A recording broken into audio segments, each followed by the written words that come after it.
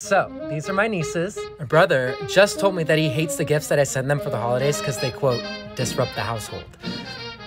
But to me, that's a challenge. So now I have to go downstairs and find something better than I got them last year.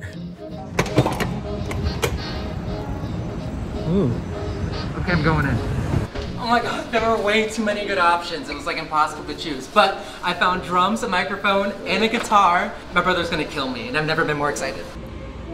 Hey, I just want to let you know that I got Olivia and Emma the best gifts this year. we don't want them. Oh, okay, no problem.